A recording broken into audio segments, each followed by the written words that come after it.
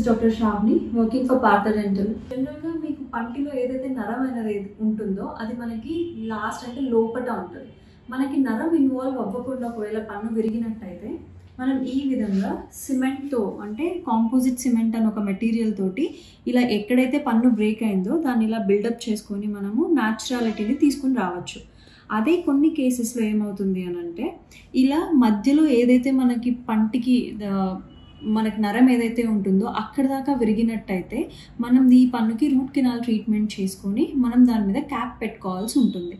So ఇలాంటి కేసెసే కాకుండా కొన్ని కొన్ని కేసెస్లో ఈ కాంపోజిట్ మనం ఎలాంటి కేసెస్లో పెట్టొచ్చు అంటే కొంతమందికి ఇలా పన్ను డిస్కలరేషన్ అయిపోతుంది.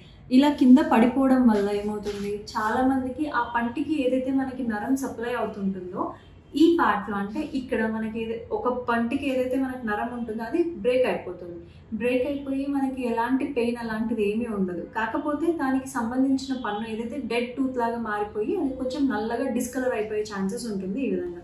సో ఇలాంటి పన్ను కూడా మనము ఒకసారి ఎక్స్రే తీసుకొని అంత ప్రాబ్లం ఏం లేదు అని అనుకుంటే అంటే ఎముకలో ఏం ప్రాబ్లం లేదు పన్ను విరిగి అట్లా ఏం లేదు అని అనుకుంటే మనం దాని రూట్ కెనాల్ చేసి క్యాప్ పెట్టుకోవచ్చు.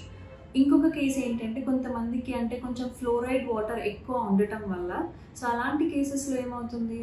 పంటి పైన నల్లగా లేకపోతే బ్రౌనిష్ కలర్ లాంటి చారలు అనేది ఉంటుంది. అలాంటి టీత్కి కూడా మనం ఈ కాంపోజిట్ సిమెంట్ తోటి మాస్క్ చేయొచ్చు.